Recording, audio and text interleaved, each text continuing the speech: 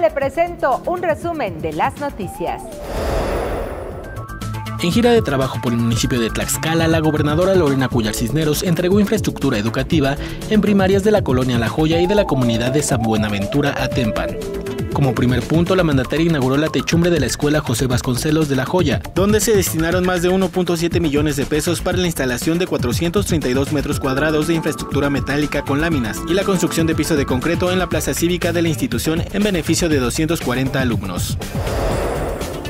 La prueba contra reloj culminó el proceso selectivo al macro regional de ciclismo. Al momento han logrado sus pases 12 atletas de la modalidad de montaña y 24 de ruta. Vendrá un análisis para definir a los velocistas que entren en la crono. Para el coordinador del área de desarrollo del deporte del Instituto del Deporte de Tlaxcala, José Castañeda López, el balance que se tiene de los tres días de competencia es grato al haber incrementado participantes y sobre todo el nivel competitivo. Las mujeres divorciadas ya no deberán de esperar 300 días para contraer matrimonio, pues este miércoles el Pleno del Senado aprobó eliminar la restricción que establece el Código Civil Federal. Con 71 votos de los y las senadoras presentes, la iniciativa fue aprobada de manera unánime, por lo que fue enviada a la Cámara de Diputados para su aprobación.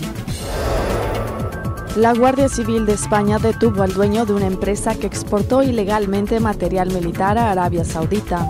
Una parte del material fue usado en vehículos blindados en la guerra de Yemen, anunció la entidad este jueves.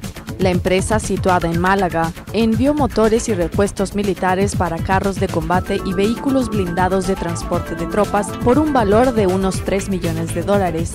Los componentes se hacían pasar como destinado a camiones civiles.